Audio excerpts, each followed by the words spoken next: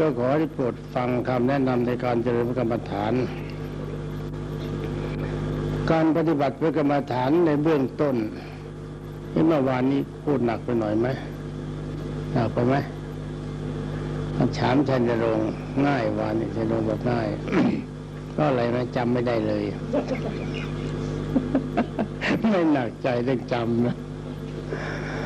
ก็วิธีปฏิบัติจริง ๆ เบื้องต้นก็เหมือนคนทุกเหมือนกันทุกกองคือกรรมฐานกองใหญ่จริงๆนะมีสี่สิบกอง ในสี่สิบกองที่พระพุทธเจ้าทรงตรัส ก็แบ่งเพื่อเป็นบริสัยของผู้ปฏิบัติถึงหกกองเรื่องที่เรียกว่าจริตจริตของคนมีหกอย่าง พระเจ้าก็ทรงแบ่งกรรมฐานว่าจริตประเภทนี้ใช้กรรมฐานอย่างนี้ จริตประเภทนี้ใช้กรรมฐานอย่างนี้ แบ่งไว้เพื่อจริตจริงๆสามสิบกอง แล้วก็ตัดไว้เพื่อเป็นกลางกลางคนจริตไหนก็ได้ทำอย่างแบบแบบไหนก็ทำได้ไม่เรียกจริตนะสิบกองรวมสี่สิบด้วยกันแต่ว่าเรื่องกรรมฐานสี่สิบจะไม่พูดในเวลานี้ การเจริญพระกรรมฐานจริง ๆ พระพุทธเจ้าต้องการสงเคราะห์บรรดาท่านพุทธบริษัทว่าอย่างน้อยขอทุกคนพ้นจากความทุกข์ใหญ่คืออบายภูมิ ได้กับการเกิดเป็นสัตว์นรกเป็นเปรตเป็นสุรกายเป็นสัตว์เดรัจฉานอย่างนี้ถือว่าทุกข์ใหญ่เป็นพิเศษ เพราะว่าในแดนสี่แดนนี้ถ้าคนลงไปแล้วมันมีแต่ความทุกข์ไม่มีความสุข อย่างนรกไฟก็ไหม้ตลอดเวลา มีสันพาวุธสับฟันตลอดเวลาด้านเปรตก็เช่นเดียวกันด้านอสุรกายเต็มไปด้วยความหิว ไม่ถูกการลงโทษโดยสันพาวุธไม่มีไฟแต่ก็มีแต่ความหิวสำหรับมาแดนสัตว์เดรัจฉานดีหน่อย แต่ว่าก็ไม่ดีมาก มีความปรารถนาไม่สมหวัง ต้องการกินอย่างนี้คนเลี้ยงให้กินอย่างนอนต้องการกินอย่างนอนเขาเลี้ยงให้คนเลี้ยงให้กินแบบนี้ จิตใจก็ไม่เป็นสุขกระบางเหล่าก็อดอยากรวมความว่าบายภูมิทั้งสี่คือหนึ่งสัตว์นรกสองเปรตสามสุรกายสี่สติฉานเป็นแดนที่ความทุกข์หนักพระพุทธเจ้ามีการสงเคราะห์พุทธบริษัทจึงสอนธรรมะไว้ ธรรมะเบื้องต้นคือมนุษยธรรม คำว่ามนุษยธรรมทำคนให้เกิดเป็นมนุษย์เอ๊คุณชนรงค์คุณเป็นอะไรเนี่ย เป็นคนนั้นเป็นมนุษย์จะสงสัยนะคือว่าถ้าเราต้องการเกิดเป็นมนุษย์ให้ปฏิบัติในกรรมบทสิบถ้าบุคคลผู้ใดสามารถปฏิบัติก็เป็นกรรมบทสิบได้ครบถ้วนผู้นั้นเกิดเป็นมนุษย์ได้สำหรับผู้เรานี่ตามศัพท์ที่เขียนหนังสือเขาเรียกกันว่ามนุษย์ ถ้าจริง ๆ แล้วไม่ใช่มนุษย์มันเป็นคนใช่ไหมคนนี่เขาแปลว่ายุ่งมีทั้งความดีและความชั่วกฎกรรมที่สนองเรามีทั้งสองอย่างมีทั้งกรรมที่เป็นกุศลและกรรมที่เป็นอกุศลสำหรับมนุษย์ท่านแปลว่าใจสูงคำว่าใจสูงนี่หมายความไม่มีใจต่ำไม่มีใจเลวอารมณ์เลวไม่ดี ก็ได้แก่ผู้ที่ปฏิบัติในกรรมบทสิบคือหนึ่งคิดไม่คิดจะฆ่าสัตว์ สองไม่คิดจะลักทรัพย์สามไม่คิดจะประกอบเรียกว่าจะละเมิดความรักของบุคคลอื่นต่างกาย ทางวาจาก็ไม่พูดปด ไม่พูดคำหยาบ ไม่พูดส่อเสียดเขาแตกร้าวกันไม่พูดวาจาเพ้อเจ้อเหลวไหล ทางจิตใจไม่อยากได้ทรัพย์สมบัติของใครโดยไม่ชอบธรรมแล้วก็ ไม่คิดประทุษร้ายไม่จองล้างจองผลาญใครมีความเห็นตรงตามความเป็นจริงที่พระเจ้าทรงสอน อย่างนี้ถ้าเรียกว่ามนุษยธรรมครานี้ถ้าแดนใดถ้าปฏิบัติในกำหนดสิบนี้ครบถ้วน แดนนั้นเรียกว่าแดนมนุษย์ ถ้าแดนใดปฏิบัติกรรมสุดบทสุดบทสิบไม่ครบถ้วน ก็ถือว่าแดนคน คุณชนรงเจอยังแดนมนุษย์อะ ตอนนี้ถ้าถ้าถามว่ามนุษย์จริง ๆ อยู่ที่ไหน บอกให้ก็ได้แต่ใครจะไปได้ไหมไปได้ไหมคุณสุวิทย์ที่เขาเรียกกันว่าดาวราหู ที่ฝรั่งมันเรียกว่าดาวหลุมดำนั่นแหละไอ้ดาวดวงนี้ข้างหลังดวงดาวขึ้นไปมันเป็นพิภพ ก็มีดินแดนอย่างของเรา มีบ้านมีเรือนโรง มีภูเขา มีแม่น้ำมีมหาสมุทร มีทุกอย่างอย่างของเราหมด แต่ว่าดินแดนแห่งนั้นเขาอันดับแรกหนึ่งเขามีมีพรหมิหารสี่เป็นพื้นฐาน แล้วก็มีกรรมบทสิบเป็นข้อวัดปฏิบัติแดนนั้นทั้งหมดไม่มีคนจนคำว่ายากจนเข็นใจไม่มี คนสวยทั้งหมดดินเป็นดินแดนที่เต็มไปด้วยความสุขใช่ไหมนี่พูดแต่มนุษย์ก็เลยพูดให้ฟังนิดเดียวนะ เอานิดแค่นี้ก็พอความจริงมันมีมากกว่านี้ ถ้าเป็นดินแดนที่ไม่ละเมิดกำหนดสิบก็สบายใจแล้วการทะเลาะกันไม่มี การฆ่ากันแย่งกันไม่มีรบราฆ่าฟันไม่มีใช่ไหมของหายไม่มีการแย่งความรักกันก็ไม่มีคนพูดตรงตามความเป็นจริงพูดไปเราะ พูดเพื่อความสามัคคีเขามีท่านท่านท่านเนี่ยเอาแค่นี้แล้วกัน ถ้าถามว่าพิภพนี้อยู่ที่ไหน ก็ขอตอบว่าอยู่ในจักรวาลของมนุษย์ ไม่ใช่สวรรค์ เอาแค่นี้ก่อนนะฉะนั้นผู้ที่ได้มโนยิธิก็ลองไปเที่ยวดูนี่ต่อไปพระเจ้าแนะนำว่าถ้าอย่างน้อยที่สุดถ้ามีคุณธรรมสามารถเกิดเป็นมนุษย์ได้ คือถ้ามนุษย์ก็ไม่มีความวุ่นวายมีแต่ความสุข มีความเคารพซึ่งกันและกันในกำหนดสิบปีพระมิหารสี่ถ้าเกิดในแดนมนุษย์ความจริงมันก็ดีแต่ว่าก็ดีไม่จริง ยังมีความแก่ยังมีความป่วย ยังมีการพลัดพรากจากของรักของชอบใจยังมีความตาย แต่ว่าดีกว่าบายภูมิ ตอนนี้ดินแดนที่ดีกว่ามนุษย์ก็คือสวรรค์ สวรรค์ดีกว่าดินแดนที่เป็นมนุษย์มาก เพราะสวรรค์ไม่มีธาตุสี่ธาตุดินธาตุน้ำธาตุลมธาตุไฟไม่มีกายของชาวสวรรค์เป็นกายทิพย์เขาเรียกว่านามธรรมเขาที่เรียกว่านามธรรมความจริงความก็เป็นรูป เป็นรูปของนาม คือในโลกสวรรค์ไม่ต้องกินอาหาร อาหารที่เคี้ยวกินเนี่ยไม่มีไม่ต้องกิน อิ่มตลอดเวลา แดนสวรรค์ไม่หนาวเกินไปไม่ร้อนเกินไป แดนสวรรค์ไม่มีความเหน็ดเหนื่อย แดนสวรรค์ไม่แก่ แดนสวรรค์ไม่ป่วย แดนสวรรค์ไม่ตายแต่เคลื่อนไปได้คำว่าตายไม่มีหมายว่าถ้าจะไปไหนก็ไปเลย หมายความถ้าหมดบุญบารบารมีจะมาเกิดมนุษย์ก็ไปมนุษย์เขาเลยอย่างนั้นเขาไม่ได้ตายกัน ไม่ทิ้งกาคือร่างกายไว้แต่แดนสวรรค์ที่เรียกว่าดี ถ้าอยากคนทุกคนใครอยากไปสวรรค์พระพุทธเจ้าให้แนะนำให้ปฏิบัติธรรมสองอย่างคือฮิริโอตปะฮิริความละอายต่อความชั่ว โอตปะเกรงกลัวผลของความชั่ว แต่ความจริงถ้าเราตั้งจิตเพื่อเจริญกรรมบทสิบก็ดีเพื่อปฏิบัติกรรมบทสิบ พระเจริญหิริอุตปะก็ตามก็เป็นกรรมฐาน ถ้าตั้งใจเพื่อปฏิบัติในกรรมบทสิกก็เรียวศีลานุสติกรรมฐาน ถ้าหากว่าต้องตั้งใจปฏิบัติในหิริอุตปะเป็นธรรมานุสติ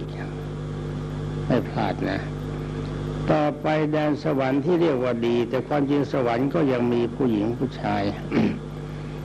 ยังมีความรักยังมีอารมณ์ ก็จะชื่อว่ามีความสุขก็มีความสุขสู้แดนพรมไม่ได้แดนพรมเต็มไปด้วยความเงียบสงัดมีมีธรรมปีติพิขอยู่มีความอิ่มใจ มีกำลังมาก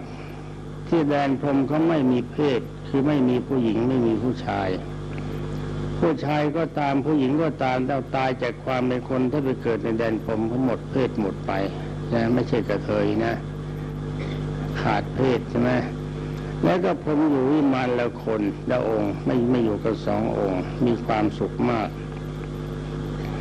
ดินแดนทั้งสองรายการคือสวรรค์ก็ดีพรมโลกก็ดีไม่มีคำว่าแก่ ร่างกายไม่มีการเปลี่ยนแปลง ไม่มีความหิว ไม่มีความกระหาย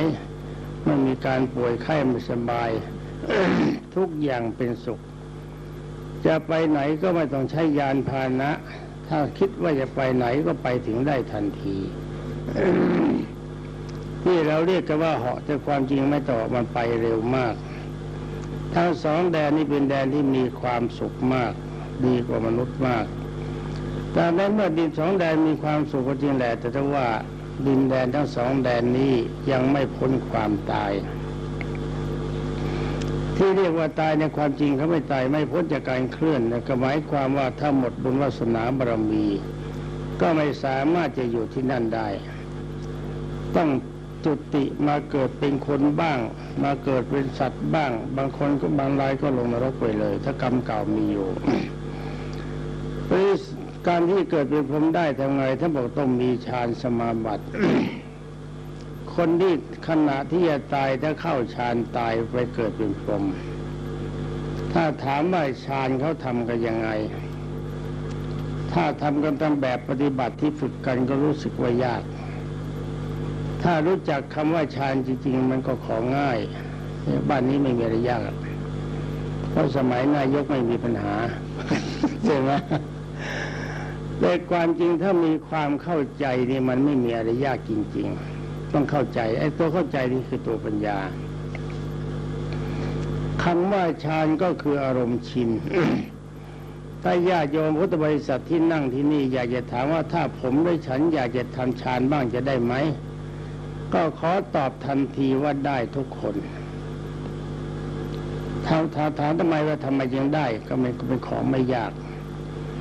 คือคำว่าฌานนี่เราจับอารมณ์อย่างใดอย่างหนึ่งไว้โดยเฉพาะ ถ้าจิตรักอย่างนั้นไว้โดยเฉพาะเป็นกำลัง จิตไม่เคลื่อนไหวไปไหนสักทีสองทีนั่นคือฌาน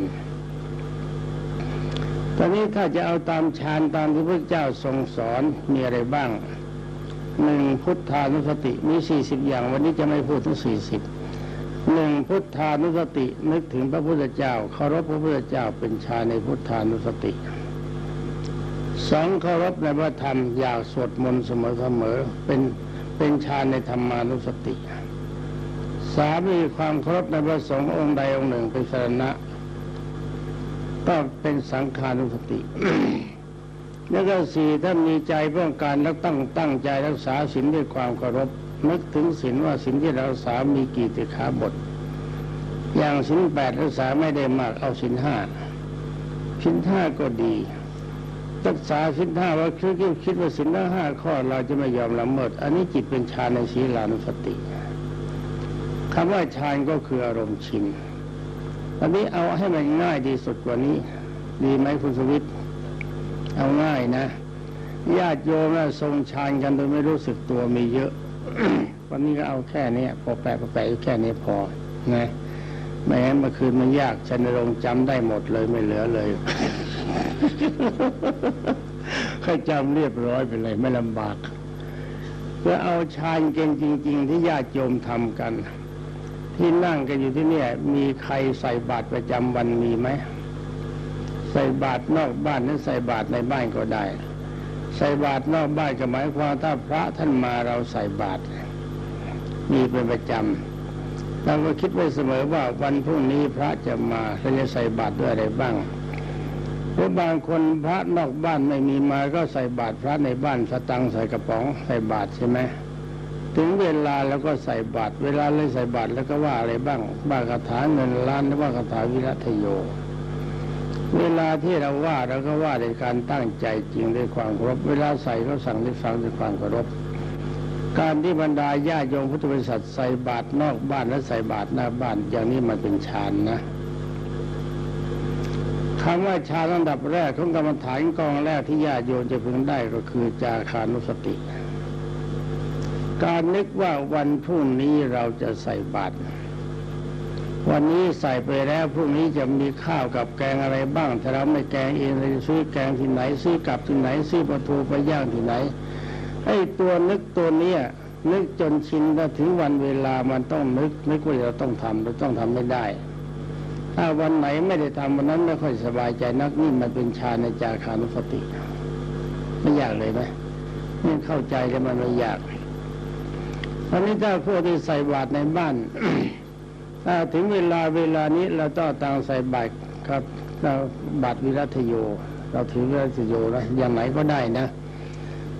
ไม่ใช่วิรัตโยก็ได้อะไรก็ได้ คิดว่าเวลานี้เอาสตังสลึงหนึ่งหรือต่ำกว่าสลึงหนึ่งมากสลึงก็ตามเราจะใส่ เวลาใส่แล้วก็ตั้งนโมสามจบ ทุกวันเราต้องตั้งนโม เราต้องบูชาพระในการตั้งนโมนี่นึกถึงใครตั้งนโมนี่ถ้าแปลไปก็แปลว่าข้าพเจ้าขอนมัสการสมเด็จพระผู้มีพระภาคเจ้าผู้เป็นพระอรหันต์พระองค์นั้น ก็คือตั้งใจนึกถึงพระพุทธเจ้าด้วยความเคารพ การคิดว่าเวลานี้เราจะใส่บาตรนั่นเป็นจาคานุปติกรรมฐานเป็นฌานแล้วและบริการที่สองถ้าใส่บาตรเราต้องตั้งนโม การตั้งนโมนี่เป็นพุทธานุปติเป็นกรรมฐานเป็นฌานเห็นไหมไม่ยากเลยหากินของคล่องนะต่อไปถ้าว่านโมบทเดียวไม่พอ แล้วก็ว่าพุทธังพนังกชามิธรรมังพนังกชามิ สังฆังพนังกชามิ เราว่าอย่างนี้ด้วยความเคารพจริง ๆ และเราคิดว่าถ้าถึงเวลานั้นเราต้องว่าพอถึงเวลาที่เราจะใส่บาตรเราจะต้องว่าอย่างนี้ตั้งใจไปแล้ว อันนี้เป็นฌานพุทธังพนังกชามิเป็นพุทธานุติกรรมฐานธรรมังพนังกชามิเป็นธรรมานุติกรรมฐาน สังฆังพนังกชามิเป็นสังขานุสติกรรมฐาน และก็เวลาตั้งใจคิดว่าจะสตังใส่บาตรเป็นจาคานุติกรรมฐาน ใส่ลงไปแล้วเป็นทานบารมีเห็นไหมมันได้ทีตั้งเยอะแยะเป็นนั่งโง่อย่างเดียวยังไงเรารู้สิทธิ์มีครูทุกอย่างนะครูคือใครคือพระพุทธเจ้า ไม่ใช่ฉันนะ ก็เป็นว่าบรรดาญาโยมพุทธบริษัทถ้ามีความฉลาดในฌานท่านมีอยู่แล้วนะ หนึ่งตั้งใจบูชาพระเป็นประจำวัน ถึงเวลานี้เราต้องบูชาพระ ถ้าไม่บูชาพระจิตใจไม่สบายมันจะลืมว่าอารมณ์ที่นึกว่าเราจะบูชาพระนะเป็นอนุสติ เป็นฌาในอนุสติ อนุสติไหนบ้าง นึกว่าเราจะบูชาพระที่หน้าพระพุทธรูปที่บ้านของเรา ถ้านึกถึงพระพุทธรูปเป็นพุทธานุสติ เวลาที่ท่านบูชาพระท่านสวดมนต์บทไหนก็ตามตั้งแต่พุทธังธรรมังสังฆังไปทั้งหมดนั่นแหละจะเป็นบทไหนก็ตามท่านเคยสวดเป็นปกติท่านคิดว่าเราต้องสวดอย่างนี้ แล้วถ้าไม่สวดมันไม่สบายใจ นั่นเป็นธรรมานุสติและเวลาที่ท่านสวดและบูชาพระเห็นภาพประสงค์อยู่ด้วยเป็นสังขานุสตินี่เป็นฌานจริงๆคำว่าฌานคืออารมณ์ชิน นี่อย่างหนึ่งบางบ้านที่บรรดาแต่พุทธบริษัทที่นั่งนี่ก็มีหลายบ้าน บางบ้านตอนเช้าเช้าๆตอนกุตื่นขึ้นมาก่อนจะรับทานอาหารเอาข้าวไปถวายข้าวพระก่อน ไม่มีพระมาบิณฑบาตถวายพระพุทธรูปทรูปที่บ้านวันนี้บางเอิญบางวันไม่มีข้าวมีผลไม้ก็ได้มีอะไรก็ได้ไปถวายท่านไปตั้งใจบูชาพระ การที่ตั้งใจจะถวายพระในเวลาเช้า อันนี้ก็เป็นฌานในกรรมฐาน คือนึกถึงพระพุทธรูปองค์นั้นเป็นพุทธานุสติ ตั้งใจคิดว่าจะนำของไปถวายเป็นจาคานุสตินี่เป็นฌานนะคือรวมความว่าคำว่าฌานเนี่ยเป็นของง่ายๆไม่ยากอย่างที่ต้องคิดกัน ถ้าถามว่าถ้าฌานอย่างนี้จะเกิดเป็นพรหมได้ไหมก็อย่าลืมว่าเวลานี้เราพูดกันเรื่องพรหมเราพูดกันว่าคนนี้จะถ้ามีฌานแล้วจะไปเกิดเป็นพรหม ทุกอย่างที่พูดมานี่มีกำลังเป็นพรหมได้ทั้งหมดในเวลาที่บรรดาท่านพุทธบริษัทเอานี้ก็แล้วกัน บางท่านชอบพระพุทธรูป บางท่านก็ชอบนึกถึงพระธรรมข้อใดข้อหนึ่งไม่ต้องทั้งหมด บางท่านก็ชอบนึกถึงพระสงฆ์บางท่านก็เลี้ยงสัตว์ไว้ที่บ้านมีไหมเลี้ยงแมวบ้างสุนัขบ้างหมาบ้างหมาก็สุนัขเหมือนกันไหมเหมือนก็เขียนไว้เหมือนกันเนี่ยนะ เลี้ยงสัตว์ไว้ที่บ้านไอ้การเลี้ยงสัตว์ไว้ที่บ้านเนี่ยท่านเลี้ยงเนี่ยไม่ได้จ้างมัน การให้อาหารแก่สัตว์ที่บ้านเนี่ยเป็นทาน ไม่ใช่ว่าเราจะบังคับว่าเจ้าแมวนี้ต้องจับหนูนะ ถ้าวันหนึ่งจับหนูไม่ได้หนึ่งตัวไม่ชาติในประเทศอยู่ไม่ได้ อันนี้ไม่ใช่เลี้ยงเป็นการจ้างใช่ไหมยิ่งแมวก็ตามสุนัขก็ตามมันจะจับหนูหรือมันจะเห่ากระโมยหรือไม่เห่าก็เป็นเรื่องของมันเราเลี้ยงด้วยความเมตตา นี่การเลี้ยงสัตว์บรรดาท่านผู้สัตว์เป็นทานบารมี อย่าลืมนะ ไม่ใช่ของเบา อันนี้การนรกด่านแรกเลยสัตว์ที่บ้านเนี่ย เป็นทานบารมีการนึกถึงว่าเวลาไหนเราจะให้ทานกับสัตว์เป็นจาคานุสติกรรมฐานนี่ไม่ใช่ของเบานะตอนนี้บังเอิญท่านคิดอะไรไม่ออกเวลาก่อนจะตายนึกถึงแบบพุทธก็นึกไม่ได้ มันปวดมันเสียด จะนึกถึงว่าทำก็นึกถึงไม่ไหวจะนึกประสงค์ว่าไกลเกินไปนะ จะไปวัดใกล้ๆก็เลี้ยวไม่เข้าไปเข้าวัดแต่ต้องมันไปไม่รอดมันปวดมันเสียดใช่ไหมไปไปมามาไอ้ภาพสุนัขมันเดินผ่านหน้าแหมที่เกิดเป็นหมาไม่ใช่งั้นนะเจ้าภาพสุนัขคือมันนึกถึงสุนัขคือมันได้บอกเออ ถ้าเราตายไปแล้วนะเจ้าหมาตัวนี้มันจะกินที่ไหนใครจะเลี้ยงมันใครจะสงเคราะห์มันอย่างเราสงเคราะห์มัน ถ้าอารมณ์จิตคิดขึ้นมาอย่างนี้นั่นเป็นเป็นอารมณ์กุศลนะตอนนี้ในฐานะที่เราเลี้ยงเป็นปกติ นึกถึงการให้มันอย่างนี้เป็นฌานในเวลานั้นพอดี ถ้าท่านตายเวลานั้น เมื่อจิตออกจากร่างแล้วบุญทุกส่วนที่ทำแล้วทั้งหมดมันจะรวมตัวทันทีและจะไปบุญพรมท่านนี้กรรมฐานหมดนี้ไม่ต้องนั่งหลับตาก็ได้วันนี้ว่าเลยๆไปเมื่อคืนนี้มันป่วยโอ้ไข้เล่นแล้วกับยำแย่ตั้งตัวไม่ไหว วันนี้พอเบาหน่อย ได้อะไรมั่ง ฉันพูดไปนี่ฉันไม่รู้เรื่องจะพูดอะไรมั่งก็ยอมความว่าวันนี้เราพูดกันถึงฌานเป็นอันว่าถ้าเราไปเป็นพรหมได้เราก็โก้พรหมอยู่สูงก็เทวดามาก แต่ว่าศักดิ์ศรีของพรหมเราสูงแต่พรหมยังไงก็ตามพรหมก็อยู่ไม่ได้นาน แต่ว่าพรหมนี่มีอายุเป็นกับนะ ยังไงก็ตามพรหมไม่หมดเมื่อหมดบุญวาสนาบารมีก็ต้องกลับมาจุติมาเกิดใหม่มีทุกข์ดังนั้นพระพุทธเจ้าจึงทรงแนะนำว่าความดีที่เราทำอันดับแรกทำความดีสูงสุดไม่ได้ก็ทำความดีเพื่อเกิดเป็นมนุษย์ ในดินแดนที่เขามีกำหนดสิบเป็นพื้นฐานจะมีแต่ความสุข ไม่เชื่อใครก็ไปเที่ยวไอ้ดาวหลุมดำดิมันอยู่ขอบจักรวาลนนะ ถ้าลงมาจากสวรรค์มันจะอยู่ริมจักรวาลที่สุดเป็นจักรวาลนี้ดินแดนนั้นโลกนั้นจะใหญ่มาก โลกของเราเนี่ยเข้าไปอยู่ในอุ้งโลกของมันสักร้อยโลกยังไม่เต็มเลย ใหญ่มาก มีเขาเรียกมีดวงดาวที่หายเข้าไปที่ฝรั่งมันบอกกินดาวนะความจริงไม่ได้กินหรอกมันไหลเข้าไปเองมันมันลึกมากมันมีความกว้างมาก พระพุทธเจ้าแต่บอกว่าดาวบางดวงที่เข้าไปอย่างเร็วที่สุดสามปีจะไหลออกมา ฝรั่งเลยหาว่ากินดาว มันลึกมากใหญ่มากเป็นจักรวาลที่ใหญ่มากมีดินแดนนี้มีความสุขมากสิวิไลมาก ตอนนี้ถ้าความดีเราสามารถทำได้สูงกว่านั้นก็ทำไปถึงสวรรค์ เป็นการพักความทุกข์สวรรค์มีแต่ความสุขไม่มีความทุกข์ถ้ากำลังใจสูงกว่านั้นก็ไปเป็นพรหม จะเรียกว่าถ้าต้องการเกิดเป็นมนุษย์ ก็ปฏิบัติกำหนดสิบให้ครบถ้วนเป็นศีลานุสติกรรมฐานถ้าต้องเกิดต้องการเกิดเป็นเทวดาหรือเทวดาหรือนางฟ้าก็ปฏิบัติหิริโลตปะเป็นธรรมานุสติกรรมฐานหิริความอายแต่ความชั่วโอตปะเกรงกลัวผลของความชั่ว ถ้าต้องการไปเป็นพรหมก็ทำฌานให้ปรากฏทำจิตให้ทรงฌานไว้ คำว่าทำจิตให้ทรงฌานหมายความว่าถ้าเราจะเคยบูชาพระเวลาไหนตั้งใจไปเลย เวลานั้นจงอย่าคลาด มันจะคลาดกันบ้างเก้านาทีสิบนาทีนี่ไม่เป็นไร ถึงเวลาหัวค่ำก่อนหลับเราจะบูชาพระหรือตอนเช้าก่อนจะไปทำงานเราจะบูชาพระเอาเวลาเดียวก็ได้เวลาไหนก็ได้ตามใจชอบ ถ้าถึงเวลานั้นเราต้องทำทำด้วยความเคารพอย่างนี้เป็นฌาน เขาถามว่าฌานในกองไหนกรรมฐานต้องบอกตอบก็ได้เร็วฌานในพุทธานุสติเป็นกองแรก เพราะเราต้องต้องถึงพระพุทธเจ้า แต่นี่ในเมื่อพระเจ้าจะบอกพรหมก็ดีแต่ว่าดีไม่นาน ให้ทุกคนต้องการไปนิพพานถ้าไปนิพพานไม่มีการกลับมาอีก วิธีไปนิพพานง่ายๆแต่ไง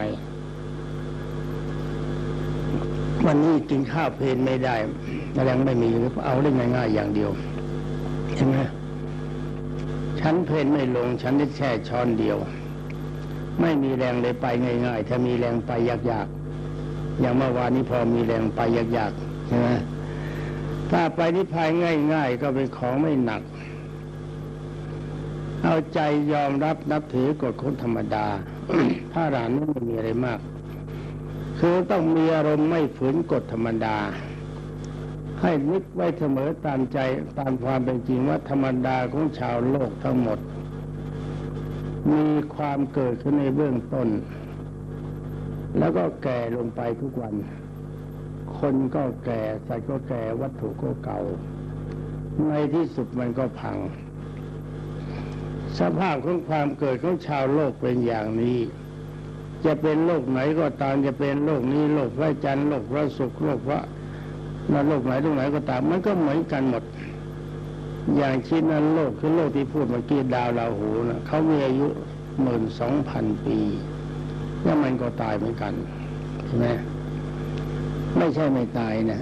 แต่เขาไม่แก่เหมือนเรายาจันนกลักนาไปพวกวิ่งหนีแล้วนึกว่าผีเพราะอะไรไหมเขาคนอายุหมื่นสองพันพันปีใกล้จะตายไหมดู อายุมันไม่เต็มสามสิบของเราหน้าตา หนุ่มมากเห็นไหมเขามีแต่ความสุขแล้วก็เป็นว่าโลกไหนก็ตายเหมือนกันเป็นมนุษย์ก็ต้องตายเป็นเทวดาก็ต้องจุติเป็นพรหมก็ต้องจุติเขาก็ไปนิพพานวิธีไปนิพพานก็ต้องมีอารมณ์ปล่อยปล่อยร่างกาย คือไม่ปล่อยคนทั้งหมด ปล่อยคนทั้งหมด อันนี้มันยาก จริง ๆ แล้วปล่อยร่างกายที่เรียกว่าสกายทิฏฐิ ให้มีความรู้สึกตามความเป็นจริงว่าร่างกายนี้มันไม่ใช่เราไม่ใช่ของเรา เราไม่มีในร่างกาย ร่างกายไม่มีในเรา ร่างกายเป็นเพียงธาตุสี่คือธาตุน้ำธาตุดินธาตุลมธาตุไฟ มันประกอบเข้ามาเป็นร่าง เราตามภาษาหนังสือเขาเรียกว่าจิตแต่ตามภาษาของพระเรียกว่าทิศสมานกาย มันเข้ามาสิงในร่างที่เป็นเนื้อแบบนี้ ถ้าถึงวาระที่ร่างกายมันจะพังเราก็ต้องไปจากร่างนี้ไปหาร่างใหม่ฉะนั้นในเมื่อร่างนี้มันมีสภาพไม่ดีอย่างนี้เราไม่ต้องการมันอีก ขึ้นชื่อว่าการเกิดเป็นมนุษย์ขอเกิดชาตินี้เป็นชาติสุดท้าย ในการต่อไปการเกิดที่มีร่างกายด้วยธาตุสี่ขันห้าแบบนี้จะไม่มีกับเรา หลังจากนั้นก็ขอบรรดาท่านพุทธบริษัทยึดพุทธานุติกรรมฐานไม่เป็นอารมณ์ เพื่อนึกถึงพระพุทธเจ้าเป็นอารมณ์ที่เรียกว่าพุทธานุติภาวนาว่าพุทโธก็ได้สัมมารหังก็ได้อิติสุปโตก็ได้ ภาวนาว่ายังไงไม่ว่า แต่อันดับแรกก่อนจะภาวนานึกถึงพระพุทธเจ้าก่อน ถ้านึกถึงพระเจ้าก่อนทีนี้ก็คิดว่าพระพุทธเจ้าดีกว่าเรามาก ดีกว่ามนุษย์ดีกว่าเทวดาดีกว่าพรหมยังนิพพานและเมื่อพระพุทธเจ้าต้องนิพพานได้นิพพานจากขันห้าเพราะอะไรเราก็ต้องตายเหมือนกัน ถ้าเราตายจากชาตินี้ขอไปนิพพานจุดเดียว คิดอย่างนี้ทุกวันนะก่อนจะหลับทบทวนว่าร่างกายนี้มันไม่ใช่เราไม่ใช่ของเรา มันต้องตาย มันตายเราไม่ตาย เราไม่ตายเราอยู่ไหนเราจะไปนิพพานตื่นมาใหม่ๆร่างกายคิดว่าร่างกายนี้มันต้องตาย มันตายแล้วไปไหนเราจะไปนิพพานนั่นจับพระพุทธเจ้าเลยภาวนาพุทโธก็ได้อิติสุขโตก็ได้สมารหังก็ได้ตามใจชอบ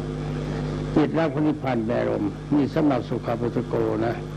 สำหรับท่านที่ได้ชละพิญโยในด้านของชละพิญโยคือมโนยิทธิก่อนจะหลับตั้งใจรวบรวมกำลังใจจับรูปพระโฉมองค์สมเด็จพระสัมมาสัมพุทธเจ้าชัดเจนแจ่มใสต่างกำลังพุ่งใจไปนิพพานทันที ไปอยู่ที่นั่นถ้าใจดีอยู่จนกว่าจะหลับไปปล่อยร่างกายจะหลับก็ปล่อยหลับไป ถ้าทนอย่างนั้นไม่ไหวไปอยู่แค่สองสามนาทีก็คิดว่าถ้าตายเมื่อไรเขามาที่นี่แห่งเดียวแล้วก็กลับ